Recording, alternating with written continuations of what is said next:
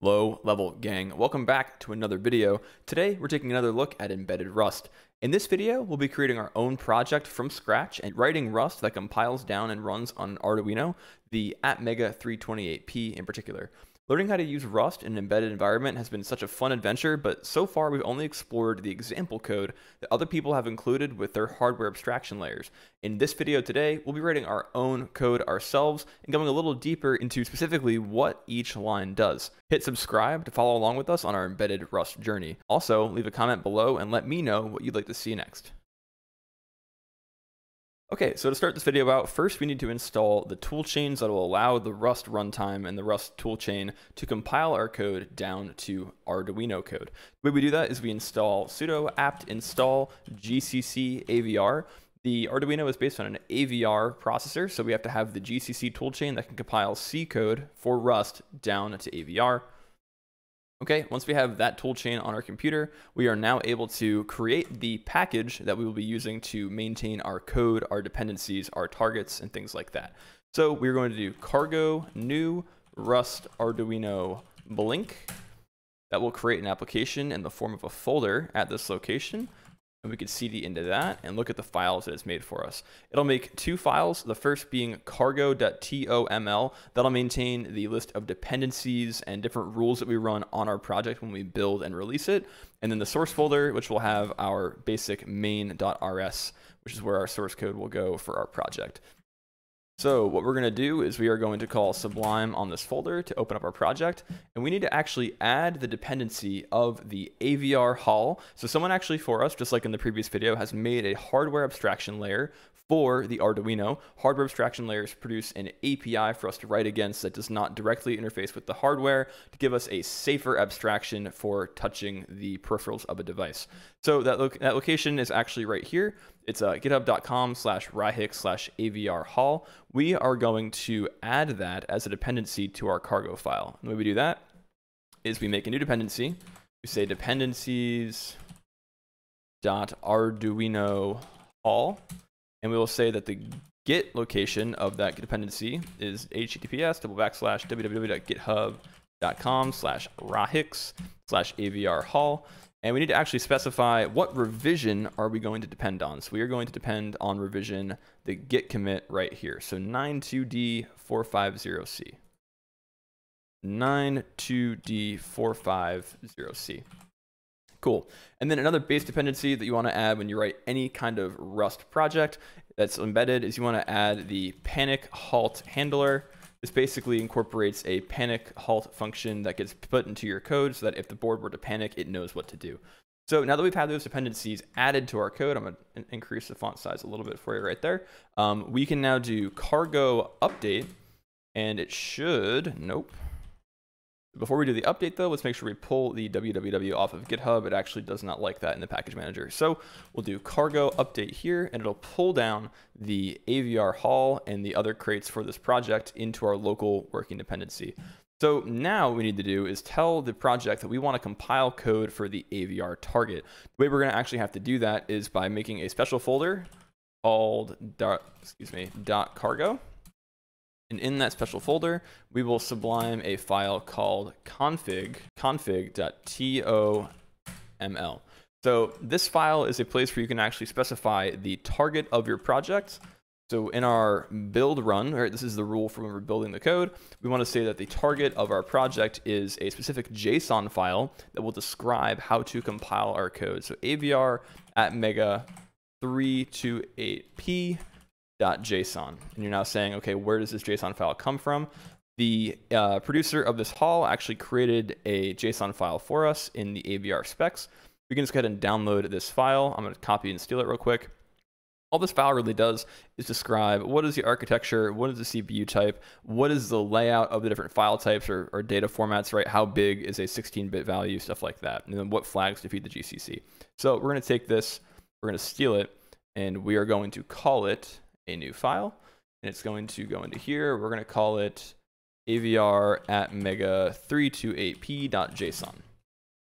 Cool. So now when we build our code, it says the target is this file and this file is this, and it tells the Rust runtime how to compile.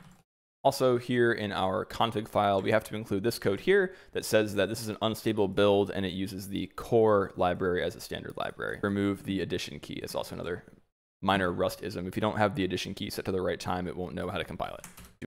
Awesome. So now we got that all set up. The final thing we need to do is we need to set the build chain of Rust to a particular version that is compatible with the Rust AVR runtime or the HAL rather. So the way we'll do that is we are going to use rust up and override the toolchain to be set to a particular nightly distribution. Yeah, we need to say rust up override set nightly 2021 07 or sorry 0107. If we don't do this, the Rust build will actually not really work. We won't be able to produce any code because it won't know how to invoke the AVR toolchain if we're not using this version of the Rust toolchain. That's my only major complaint about Rust so far is that there's little niche things like that that you need to know that if you don't know, you literally just can't run code. Um, finally, we need to change our main source code and add a couple of things to make it Rust embedded compliant, right? So what we're going to do is add a few things to get this into embedded mode.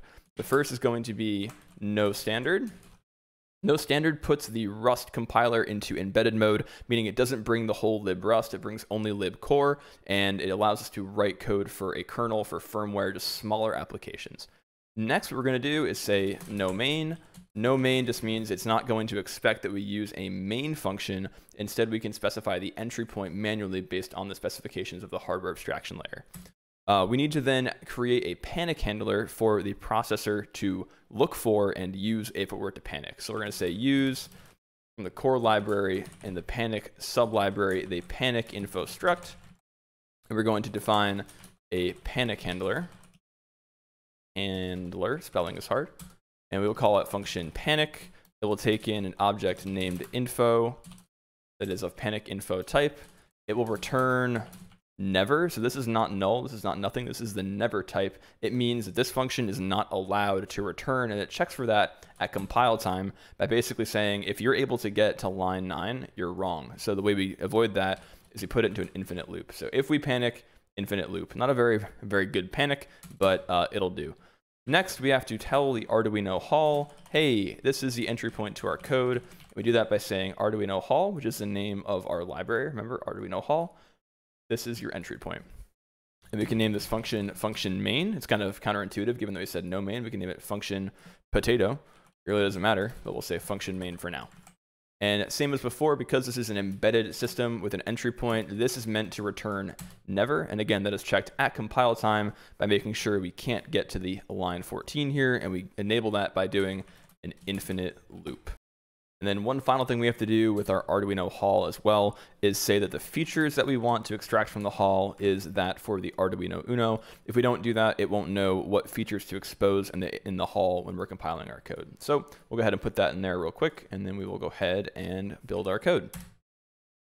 Okay, cool. So now we have in the target folder, target AVR Mega debug, a Rust Arduino Blink, nope, elf file that is an atmel avr 8-bit elf with debug info in it, not stripped. So pretty cool. Uh, again, obviously though, this code doesn't do anything. We don't care about this code. So we are going to add some functionality that will make our LED blink, okay? So is pretty standard for any hardware abstraction layer uh, that is written in Rust to extract away peripherals from a device. We're going to say let peripherals, peripherals, peripherals? Holy shit, English is hard peripherals. There we go. Equal Arduino HAL. Within the Arduino HAL, it's pretty standard for there to be a peripherals structure. And we are going to take that and unwrap it. Cool. So now we have a peripherals structure that we can use that gives us access to all the peripherals of the Arduino chip that we're on, the AVR chip. Then within the peripherals, there's actually a macro that gives us access to the individual pins. And that macro is called Arduino HAL, called pins. And it's a macro, so we use exclamation point, and we feed it the peripherals structure that we already have. Now we have a pins structure that gives us access to the individual pins on the chip and allows us to do things with those pins. Then next we do let there be a mutable LED that comes from pins its name is D13. That is a digital 13 pin where the LED lives on the board. And we're going to turn that into an input pin, or excuse me, turn that into an output pin. Cool, so now we have this LED structure that is a reference into the pin structure that controls digital 13 as an output. And then all we have to do is call led.toggle and then use the Arduino HAL to give us a delay of 1000. And because it's a toggle, this will turn on and off, and we'll just run this in an infinite loop and not violating the never return type of main. So move this over to the right a little bit, and we will do the same thing. We will do cargo build, and there we go. Cool, so now our target AVR at Mega Debug has the Rust Arduino Blink.elf. Let's actually see how big this is. I'm kind of curious. Pretty big, man, 600K. So what we're gonna do now is we have to actually flash it to the Arduino. How do we do that? So first I've got my Arduino plugged into my computer and you can see it's here on dev uh, TTY ACM0, I believe. Yep. So we're gonna use the Arduino dude command, Arduino dude we're going to use the AVR dude, AVR dude command, which is the uh, programmer that allows us to send ELF files over various programmers to an Arduino to you, know put your code onto that device. So AVR dude takes a few commands, a few different arguments. Um, I'm going to actually specify them right now. First, you put down AVR dude. Uh, the second that you're going to do is the type of processor that you're programming. So you're programming an M328P. Uh, the next we're going to do is we are flashing using an Arduino because Arduino has a baked-in bootloader already written to the EEPROM, so you don't need to do anything special there. Um, we're going to do the uh, the port, which is dev tty acm0. Pull this up here. Uh, the baud rate is 115 to 100, pretty standard. And then we are going to write to the flash a writable section, and it's going to be this elf. Cool. So again, using AVR dude, which is this type. It's an Arduino uh, programmer.